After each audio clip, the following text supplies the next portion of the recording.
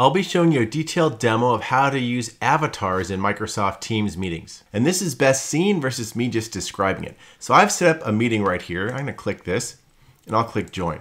The first place you can access avatars is right here where it says effects and avatars. And if I click this, you'll see avatars. I've not created one yet, and we're gonna walk through how to do that. But that's a virtual representation of yourself in a Teams meeting.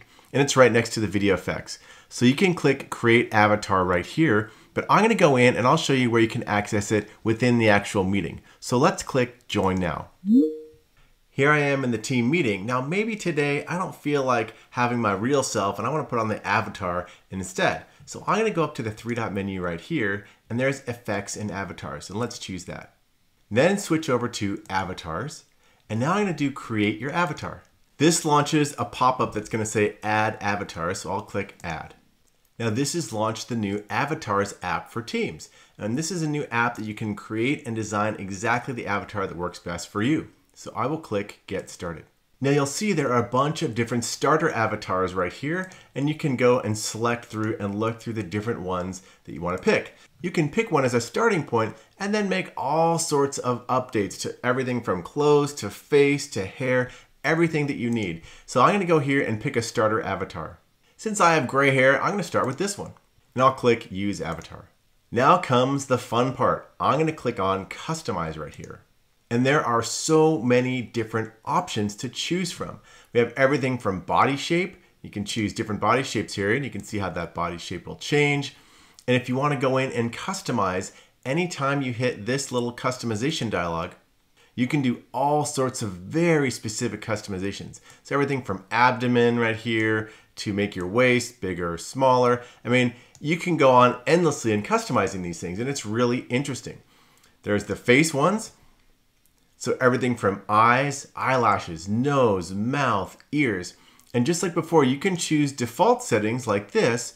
I'm clicking around, but you can also click on face shape and customization. And there's all sorts of customizations, cranium height, head depth. And I go here and click next page. Next page, there's cheek information, chin information. You can really customize anything that you want. Then you go into hair, same as before, hairstyles you can choose or you can drill in customization. Even things like facial hair, so mustaches, beards, goatees, eyebrows. And then you go to appearance. You can add things like lipstick, blush, eyeshadow, eyeliner, so all sorts of different customizations. Going to wardrobe here, you can choose what you want to be wearing, so underlayer, outerwear, it's pretty much an endless amount of customizations that you can make your avatar look exactly how you want to. I'll go back to body here. And then there's also things like prosthetic and skin tone. So anything you want to do for your avatar, you can. In this case, I'll click discard. You can also add multiple avatars. So you can have different personas based on how you're feeling in a specific day, and you can customize those to as much as you want. Now what I'm gonna do is we're going to flip forward and I've done some customization to try and give myself what I think is the most representation of myself. It's pretty tough to do because there's so many different tweaks, but let's switch over and see what that looks like.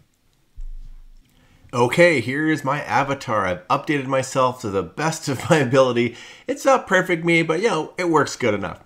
And so now what I'm gonna do is switch over to a Teams meeting and I'm gonna turn on my avatar and then show how you can do things like react and do different emotions and a lot of fun stuff.